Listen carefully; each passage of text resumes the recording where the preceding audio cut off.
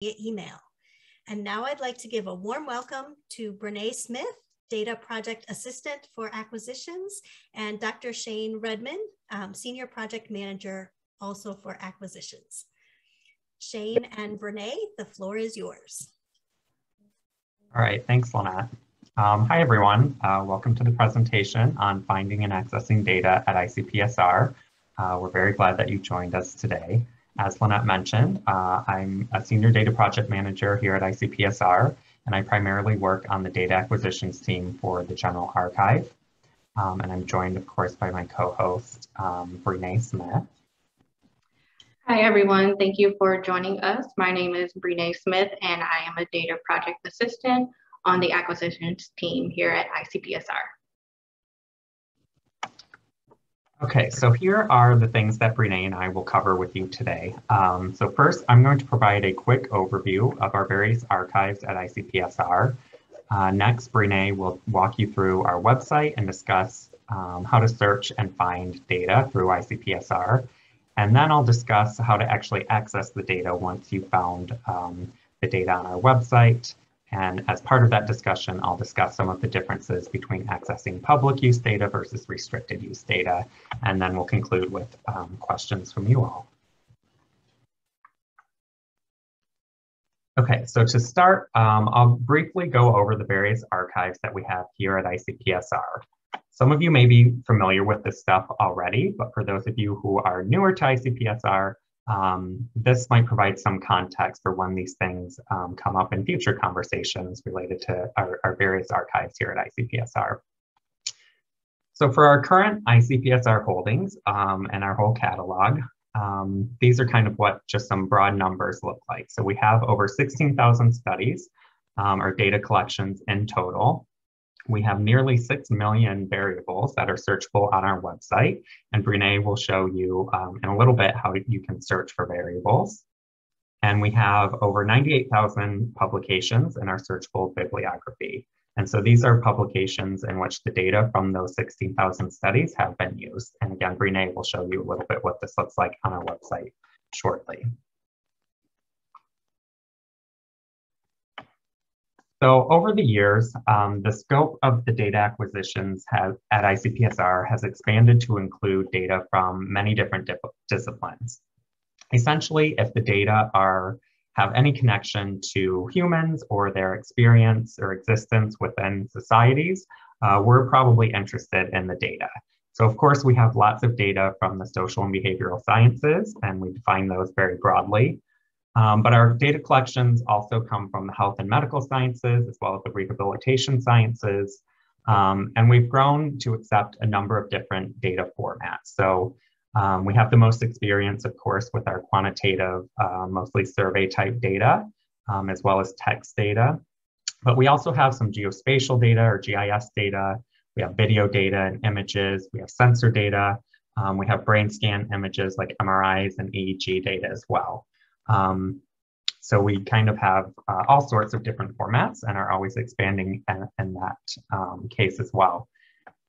We're most known, most well known for, I think, our large scale survey, national survey type studies. Um, but we accept data from kind of smaller uh, one-time studies as well. So um, it, it, a study doesn't have to be at the national scale for us to accept it into our archive. Um, and additionally, we um, have the ability to handle uh, restricted use data in addition to, of course, public use data. Okay, so we have three kind of um, types of archives at ICPSR, and I'll talk about each of these in turn in the following slides. Um, we have a number of topical archives. Um, we have our general archive, or also you might hear it referred to as our membership archive. And then we have OpenICPSR. Um, OpenICPSR differs from the other archives in that the data in OpenICPSR are not curated, uh, whereas the data in all of the other archives at ICPSR are curated by ICPSR staff. And so when we talk about data curation at ICPSR, these are just some of the tasks that our curators do um, to our data collections that get curation.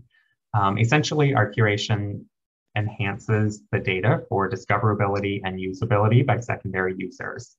Um, so one thing the data curators do is perform a disclosure risk review of the data.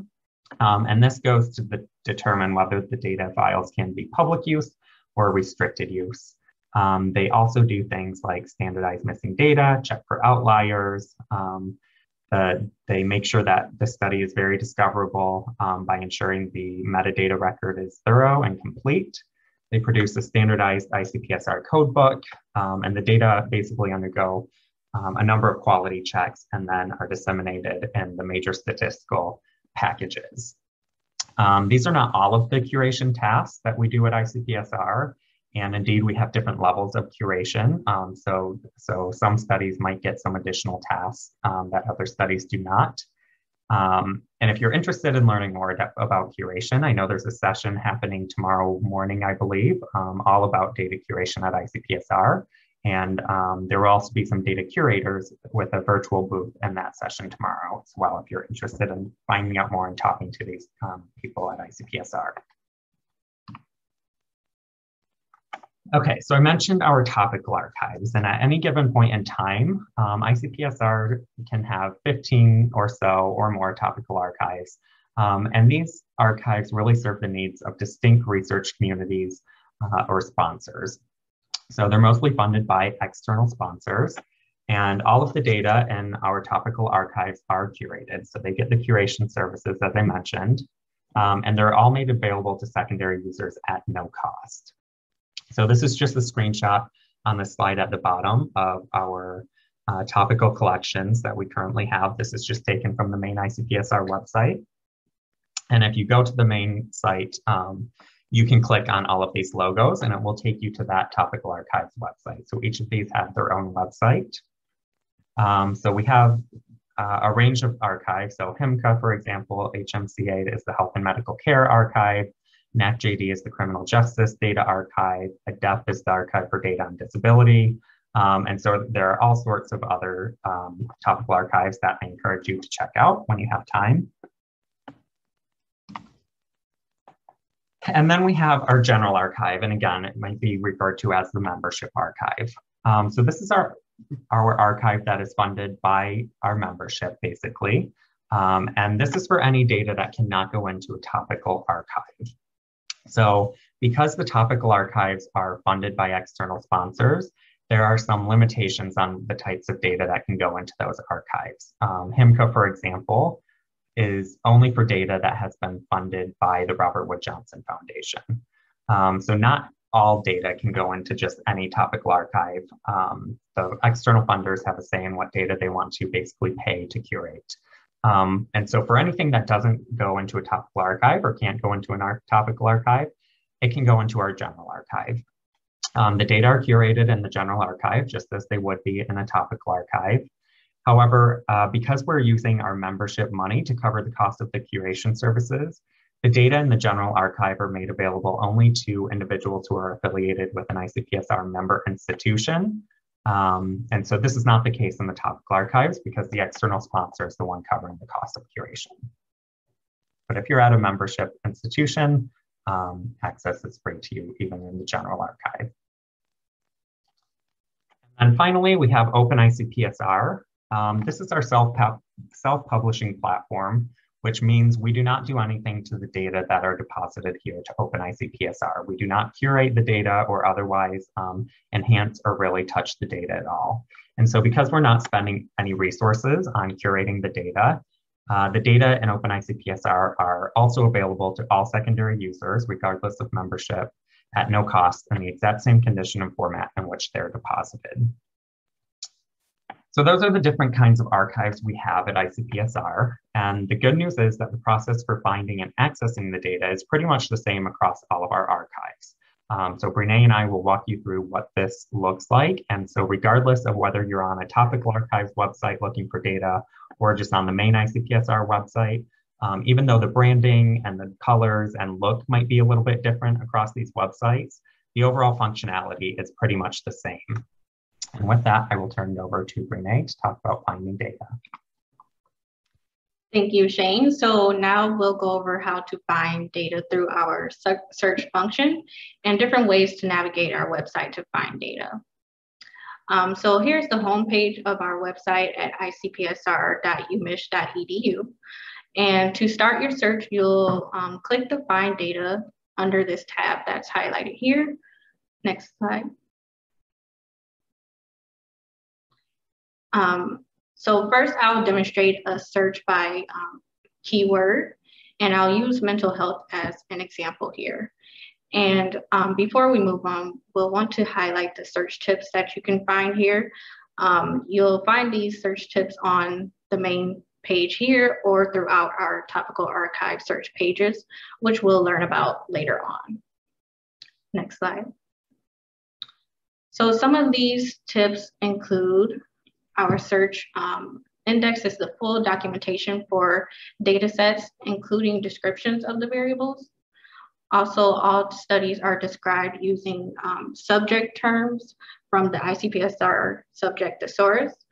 And um, you'll find these terms appear as search filters on the left-hand side of your results page. And also our search is not case sensitive.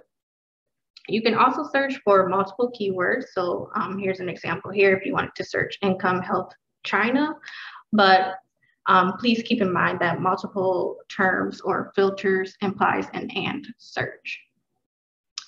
Um, next, you can, um, when you use our search function on a main ICPSR, it does include results from all of the topical archives as well as Open ICPSR. So if you want to exclude the Open ICPSR studies, you can use um, minus Open ICPSR, and I'll show an example of that later on.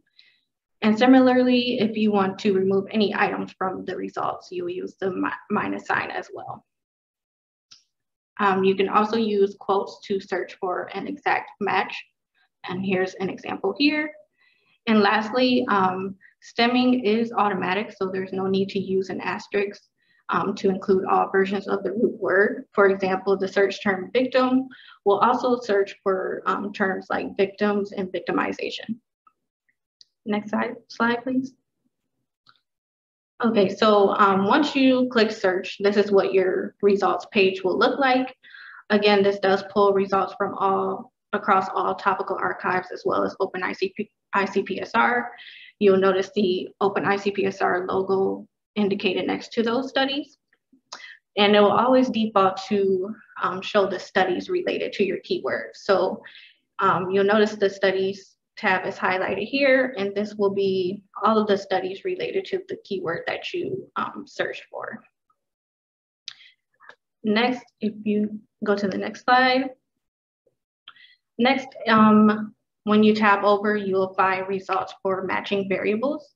And um, these variables um, relate to the keyword search and they show the label as well as the question text and what study the variables come from. So we'll come back to um, variables later to demonstrate another way to access a variable search, as well as how to use our compare feature for variables. Next slide. And the next tab over, you'll find our series. So ICPSR creates series pages for some of our studies that are related. So some studies are grouped together that are related based on a similar topic or if they're associated with a specific organization or PI. So here's where, where you'll find all, the, all of the series related to your search. Next slide. And you will also find data related publications. Um, as a lot of you know, ICPSR has a bibliography, and this is a searchable database of known published and unpublished works resulting from analyses of data distributed in our ICPSR studies. So this tab will show all of the publications in our bibliography that are related to your keyword or your search. Next slide. And lastly, you'll see our ICPSR website tab, and this will show you everything on our actual website. So um, any news or announcements on our website that are related to your search will appear here. Next slide. So since our search produced so many results, um, we can see there's almost 4,500 results for just the studies alone. Um, we'll want to learn how to filter these results so that we can hopefully narrow your search down to something more useful. So on the left-hand side, you'll find the filters. Um, next slide. And um, this will show a little demonstration of some of the filters that you can use. So here um, you can see that I used the minus open ICPSR function to exclude the open ICPSR studies. So you can see there are no longer any logos for open ICPSR. And you'll see all of the filters available that we have for your search results. And here are the subject terms that can be found in our thesaurus, and you can search studies that contain specific subject terms. Next, you'll see um, you can filter by restriction type. So whether the data are public use or restricted use, you can filter that way as well. And also our data are distributed in different formats as Shane explained. So you can filter by each of these formats. So um, SAS, SPSS data, um, etc. And then lastly, you can also filter by data type. So we have qualitative and we also have quantitative. So most of our data are quantitative data and the qualitative data we do have are largely restricted use, which Shane will explain how to access later on. Um, but uh, next slide. I'll also mention that some of the quantitative data we have that are public use, you can perform SDA online analysis without having to download the actual data. So if this is available for a particular study, you'll be able to click on online analysis on the study homepage, and it'll take you to this SDA platform where you can see frequency tables, some crosstabs, and other analysis functions.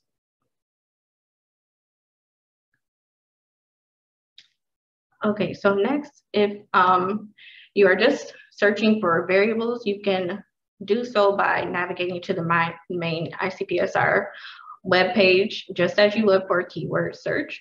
But instead, you'll um, click the search slash compare variables button. Next slide. And this will bring you to our variable search page. And as you can see here, um, when you search here, you're using our social science variables database, and this enables ICPSR users to examine and compare variables and questions across series and studies. And you'll also want to note that not all of our studies have variable information available, but most of them do. You can see that about 76% of our holdings do. Next slide. So I'm using the same example here. So I searched mental health in a variable search. And this will yield all of the variables that are related to mental health. So each variable will have the corresponding label, question text, and the study it was taken from. And then um, to compare the, some variables, you can select two or more variables and um, click the compare button here. And this will bring up a comparison view of the, of the details of each variable that you selected. So you can compare the characteristics of each variable and it does tell you which study that each variable um, comes from and you can click the link there to direct you to the study homepage of those studies. Next slide. So oh, can you pause it for um, so now we'll move on to finding data housed in specific topical archives. So again, the search on main ICPSR will yield results for all of the archives. But if you want to only search for studies that are in a specific topical archive, you can do so by visiting ICPSR's homepage and you would go to the same find data tab as um, we searched before, but instead you'll click thematic collections or you can scroll down all the way down our homepage to find um, this tab, which lists all of our collections. And this video will demonstrate me going to the um, Child and Family Data Archive.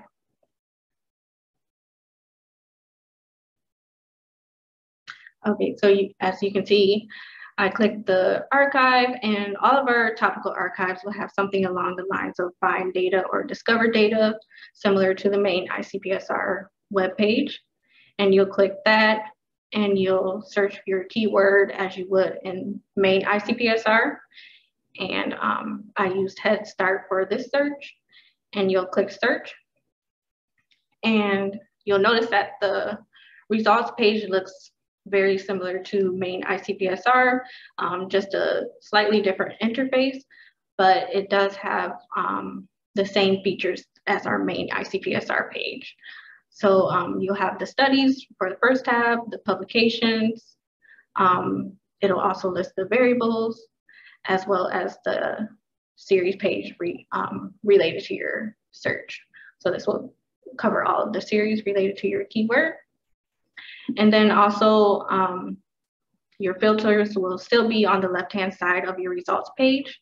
Um, the filters will vary depending on which topical archive you are in, but all of the available ones will appear on the left-hand side. Next slide. Um, and you can, so you know that you can search Open ICPSR results on our main ICPSR page, but you can also go to um, Open ICPSR's website, which shows only its holdings. So um, once you go to openicpsr.org, you'll come to find this page and you can search your keyword here or click the find data button. And here I'm going to use the same example and this looks very similar to our main ICPSR results. Um, it has the similar search tips, so this will be useful if you're searching in Open ICPSR. And um, similarly, the filters will also appear on the left-hand side. I will say that the filters here may be more limited because um, these studies are not enhanced or the metadata is not added to any of these studies, so um, the filters will be a bit more limited.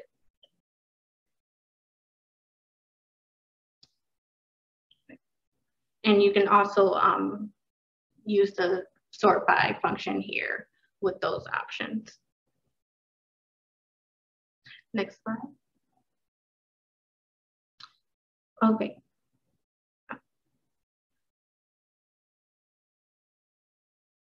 So once you click on a study that interests you, you'll find its homepage. So every study has its own homepage and this is what it will look like. Um, studies from different topical archives will have different designs, but the features will all be the same. And we'll go over what the homepage um, information looks like in the next slide. So the study, all study homepages will have this info, the following information. Um, so I have the study title, the PI, the date it was published, and the DOI. Um, it'll also have a project description, which will include things like the summary, the citation, the funding source, subject terms, etc. It'll also include the scope of the project, which will include the time periods, the dates of collection, and any um, data collection notes that the study has. And it'll also include the methodology section, which will go over the study purpose, the design, the sample, um, data types, response rates, etc. And then it'll also have the version, so there will, there will be different version numbers um, depending on which study you select. And this is just depending on how many times the study was updated and re-released. So you'll have version one, version two, depending on that information. And then lastly, it'll have the analysis information, which usually includes things like the um, weighting and any other analysis information that would be useful. Next slide. So that is what will be all included in the at a glance tab, which is the first tab that you see once you enter a study homepage.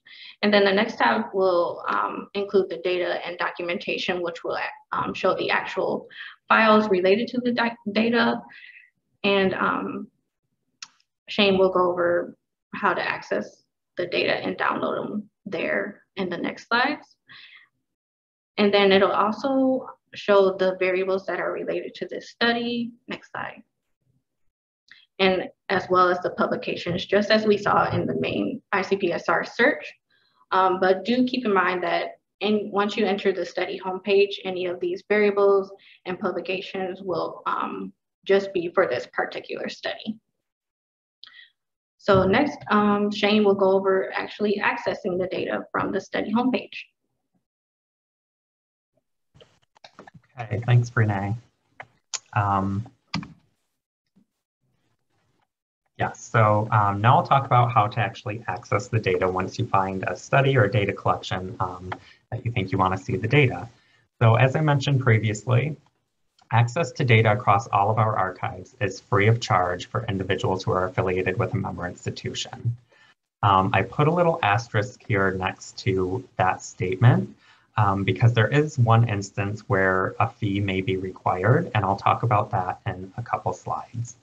Um, but free of charge does not mean openly accessible, however.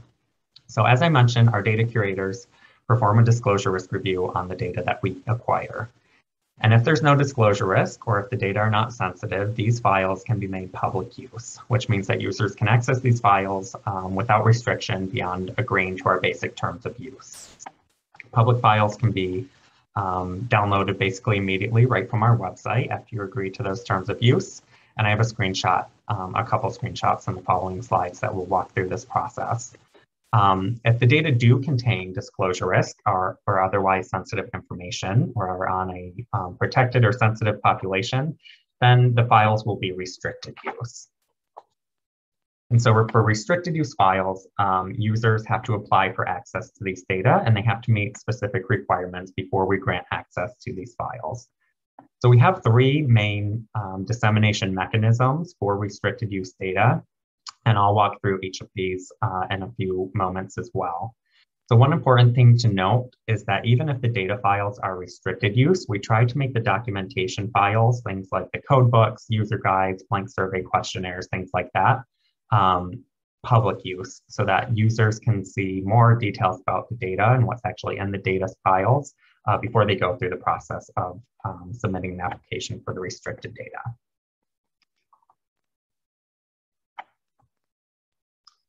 So again, once you find a study that you're interested, you click on that study and here's the study homepage, um, very similar to what Brene showed. Um, and so pretty much, again, every study homepage will look like this. Again, depending on the site that you're in, the colors and, and branding might be a little different, but the same organization and format is used across all of our archives. So in terms of access to the data, You'll want to look on the right-hand side here where the arrow is pointing to the notes section to see if there are any restrictions. If there's any restrictions, um, basically any of the access information will be included in this notes section. So in the next slide, I just have this notes section for this particular study blown up so you can see it a little better. So you can see here that it says the public use files in this collection are available for access by the general public and access does not require affiliation with an ICPSR member institution. So that's mean, that means the curation was, um, the curation costs were covered externally, basically. Um, so it's free for everyone to access. And then the second point, you see that it says one or more files in this data collection have special restrictions. Um, so exactly what it says, this means that at least one of the files are restricted use and you can't just download it immediately um, and then it instructs you to click on the restricted data button. And going back to just the full um, screen of the study homepage, um, this access restricted data button uh, right to the right of Analyze Online is, is what the notes section is referring to. And so this is where this button will be on all study homepages if there are restricted files, again, regardless of what archive you're looking at. If that button is not on a study homepage, if it doesn't appear at all, that means all the files are public use. There's no restricted data for that study. So I'll come back to what things look like after you click on that button in a minute, but first I'll talk about public use data and accessing those data files. So in addition to the notes section, um, the other place to look is this data and documentation tab um, that Brene pointed out. So it's right next to at a glance. So if you click there, it will bring up a list of all of the data sets within that particular study. There might be one or there may be several data sets as you, as you see here. So next to each data set, there's this download um, button. And um, you can click on this button, like I did here, and that will basically show you all of the public use files that you can download immediately. You don't have to apply for access to these files. So if a file appears here, that means it's public use if it appears in the download button.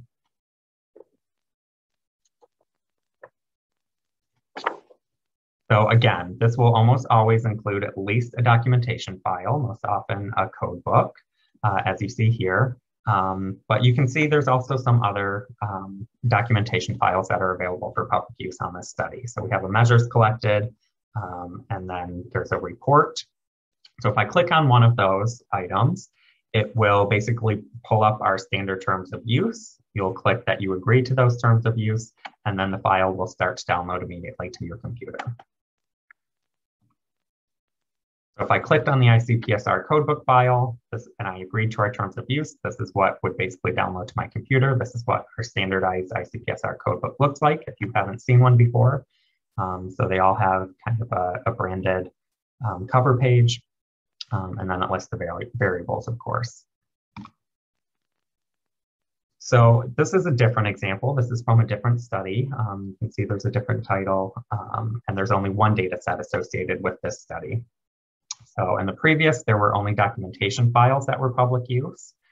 Um, this screenshot shows a different study where the actual data files are public use as well. So it's a little small, but behind this um, download pop-up box, you'll see that there's nothing in that note section that I pointed out that says anything about restricted files. Even though it's a little bit covered, um, you can see there's no highlighting like there was previously where it said one or more files are restricted. Um, and indeed, it says that the files are public use. So on the data and documentation tab, when I click on the download button again, um, for this data set, you can see there are several statistical packages, um, package formats that I can click on in addition to the documentation files, the code book and the questionnaire. So if I were to click on the SPSS option, again, it would pull up our terms of use. I would click agree, and then it will download the SPSS data file uh, for me. And that's pretty much the basics for how you access public use files. They'll all be listed in these download buttons on the data and documentation tab of the study homepage.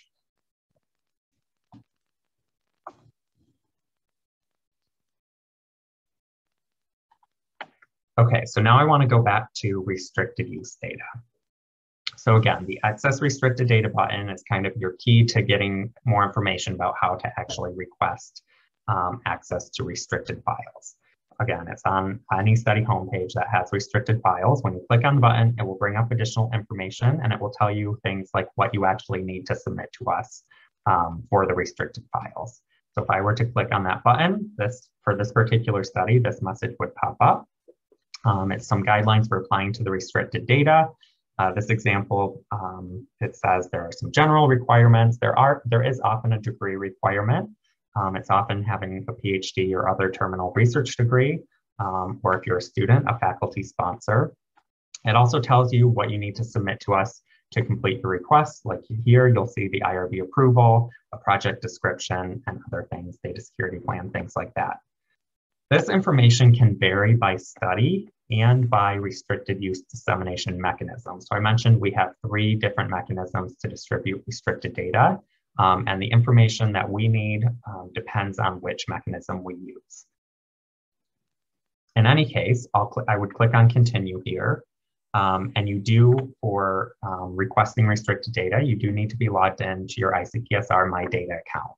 So I'm sure many of you already have a My Data account. Um, if anybody you're talking to does not yet have a My Data account, it's very easy and quick to create one. Um, and they will need this to submit requests for restricted data from us.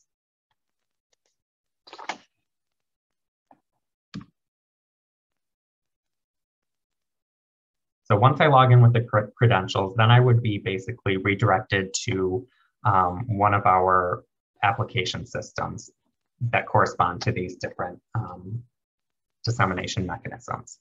So these are the three dissemination mechanisms we use for restricted data.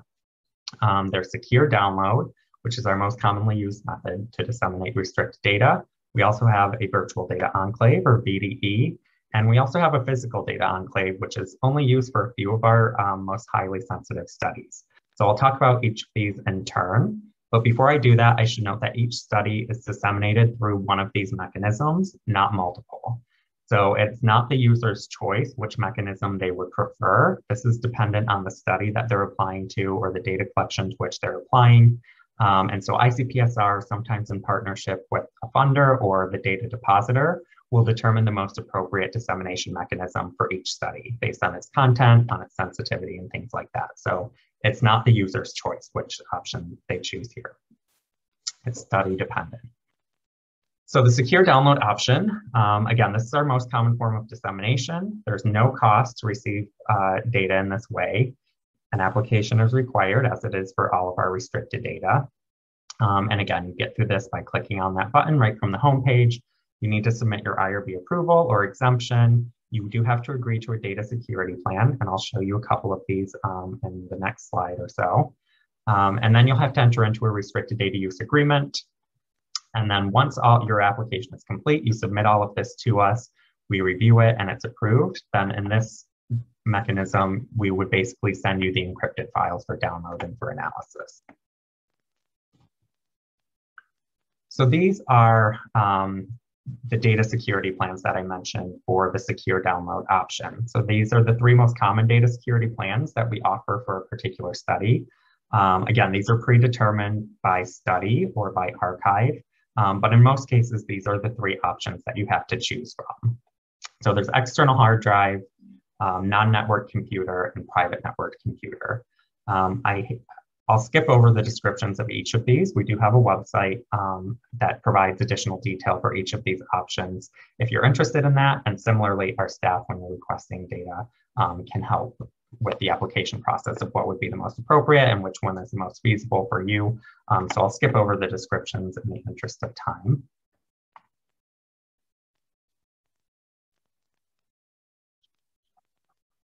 Okay, so this is basically what the secure download application looks like. This is the system you would enter into if that study is disseminated using our secure download option. Um, and you would basically just click through each of these sections, investigator information, other research staff information, tell us about the study that you're conducting, the data formats you prefer the data in, um, again, IRB approval, data security plan, restricted data use agreement, things like that. So you click through all of those, complete them, and then submit everything to ICPSR.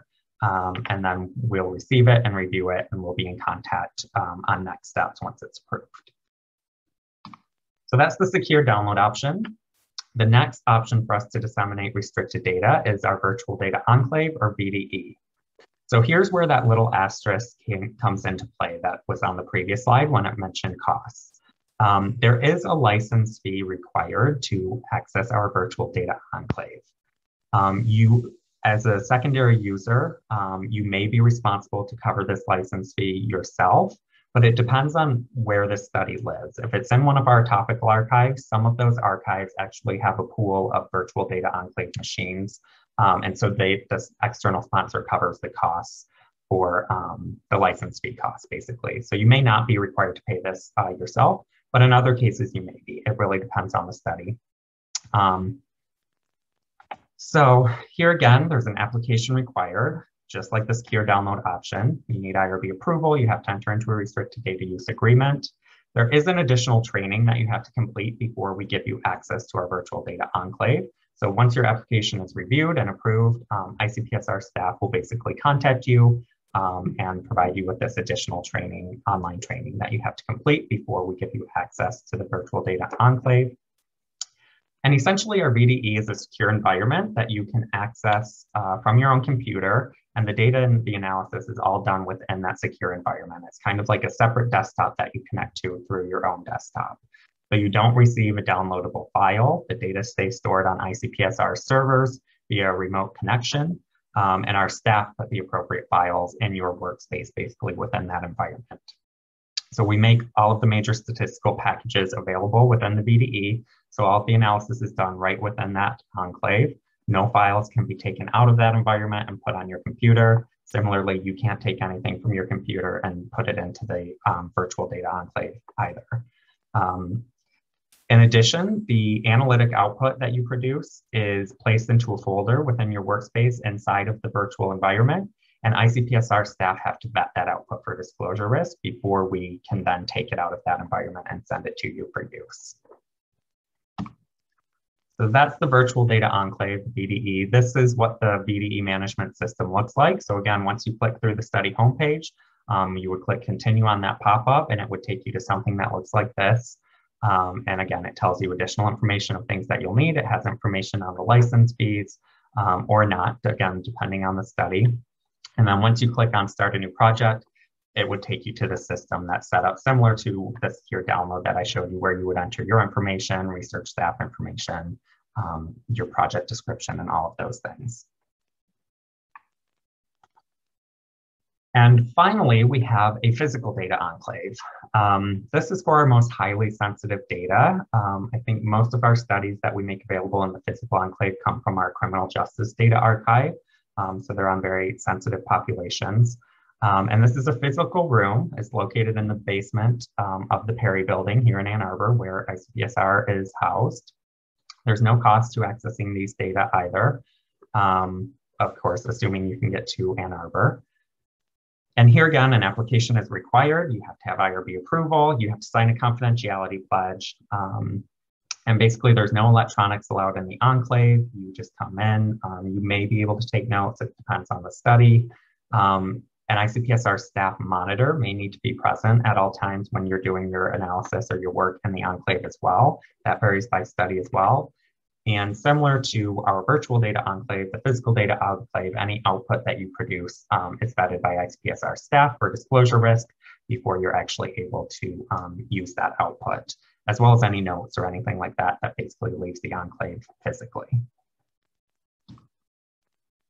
So this is an example from a study that's in our physical enclave. Um, this is what the pop-up would look like when I click on that access restricted, restricted data button on the study homepage. It will give me some additional information. You can see here it has a link to our Enclave data website. If I click on that, it, it would take me here. And again, it provides me with information, some of which I just covered.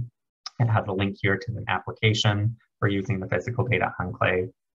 And in this situation, you would be in contact with ICPSR staff um, to set up scheduling and things like that. So, so you could easily um, ask your questions uh, about the application procedure to staff then. So in summary, um, when it comes to accessing data through ICPSR, ICPSR, sorry, um, check the notes section on the study homepage. That's always a good first check. Um, also look at the data and documentation tab to see um, what public use data or documentation files are available for immediate download and then if there's that access restricted data button, you can click there to find out what the application procedure is for that particular study. And of course, when in doubt with any of these things, whether it's finding, searching, or accessing data at ICPSR, you can email our user support at icpsr-help at umich.edu. And we are always happy, happy to help you try to get the data that you're looking for. And with that, um, that's all we have to present to you today. We will take questions at this time. And I think you put them in the Q&A box and we monitor that. Hey, everybody. Um, hi, Shane and Brene. Great job. Yes, if anybody has any questions, um, feel free to submit them through the Q&A. I do not see any right now. I know that Lynette is having a few issues um, with her Zoom, which is not surprising because she's got gremlins that live in her machine, I believe. Um, actually, I see that Linda Detterman said that um, said something in the chat. Linda, if you're there, could you try sending in a question through the Q and A? We do have one question that just came in um, through the chat, not through the Q and A. Um, how much is the VDE license fee? Yeah, so the VDE license fee, um, if you're responsible for it, if it's not being paid by an external um, sponsor of an archive, is currently $484, um, and that's per year that you would pay that.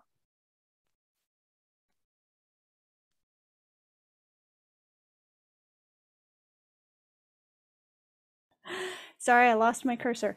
Couldn't unmute myself. We have another question that I am actually able to see the Q&A, so that's good news. Um, the question is, if we have ideas for data that could come to ICPSR, what is a good way to reach you? And that is an excellent question. Yes, that is a great question. We are always happy to get leads on data that might come to ICPSR. Um, you would just email icpsr-help at umich.edu. Um, our user support staff will basically assign one of us on the acquisitions team to that request, um, and we'll be in contact and we, we, one of us will look into um, those data or contact any leads that you provide us with to see about getting those data at ICPSR. We are happy to do that. I know that I have sent a few leads to you guys. I don't know if they've ever gotten anywhere. I mean, I know you guys have done stuff. I just send random stuff so that I hear on NPR or whatever. So we do have a couple more questions. Um, is there a typical time period for applications for access restricted data to be approved, or does it vary? Um, it varies a little bit, but I believe our goal and average is within two weeks of everything being submitted to us that you'll have it either approved or if you need to go back and sub- resubmit something. Um, I think two weeks is our typical time frame. Okay, thank you. And then what has been some data you were surprised to find at ICPSR?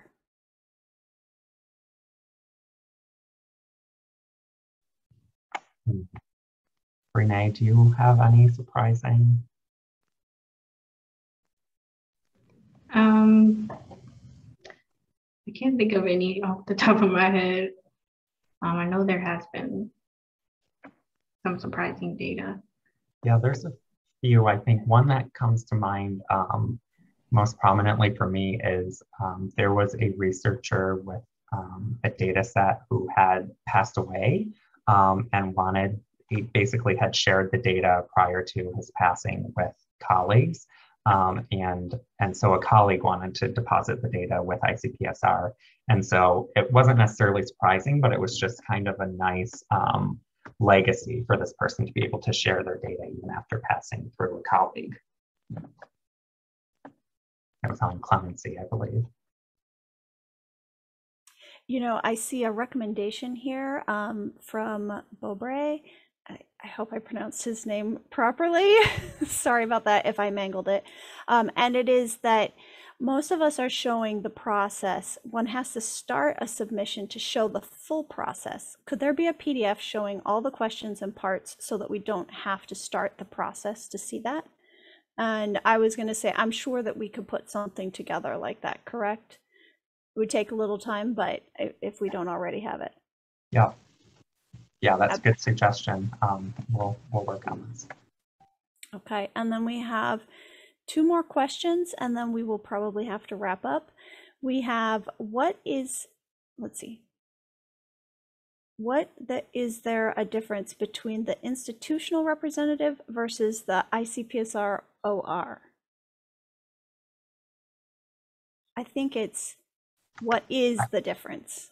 Yeah, I, I think I know what you're getting at with this question, but please correct me if I'm wrong. So um, the institutional representative in terms of accessing data is the representative who is um, who can legally sign on behalf of your institution the restricted data use agreement. So it's basically, it's usually someone in a contracts office or office of sponsored projects um, or office of research, things like that. So that, those are the people who can legally sign on behalf of your institution. They're the institutional representative for um, restricted data use agreements. So ORs can't be that is are typically not that person.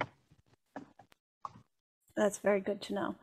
Um, and then lastly, last question, of course, if anybody has any further questions after this, your, the contact information is there. You can also, um, this the slides will be sent out after the webinar, so you'll have them on hand.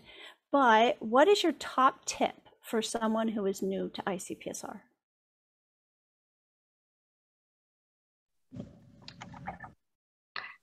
Well, I would, I would say that um, our website has have um, many resources that you can use um, as far as confidentiality, restricted data, um, things of that sort that have a lot of information that you can find your answers to. And then if you do have any additional questions, we are always happy to help in user support. So if you shoot us an email at icpsr-help at umich.edu, we'll be happy to help you with any additional questions. That's very funny because that was going to be my exact same tip. Um, we have so much information on our website. Sometimes it can be a little overwhelming, um, but our user support is excellent. We love helping our users, um, whether you're at a member institution or not. Um, we like getting you the information that you're looking for. And we have so much information, even unrelated to necessarily finding or accessing data. Um, basically for all stages of the research lifecycle, we can help with the writing data management plans, writing informed consent documents, um, kind of the entire gamut of a research uh, project we can help with. So definitely don't be afraid to email our user support. Um, we get all sorts of questions and, and we love answering them. Well, thank you, Brene and Shane. I must say that your passion for data and for helping data users has definitely come through. And I will echo that as well. Um, ICPS as a ICPSR as a whole and Brene and Shane together individually are um, just incredibly welcoming and love answering questions, love helping people be able to find the data they want and to find good data, um, or being able to come up with a, a, a, data management plan and all of that sort of stuff. So don't hesitate to reach out. And thank you again to Brene and Shane. And we will see you again. I don't know if there's anything else tonight, but definitely tomorrow if there isn't something tonight.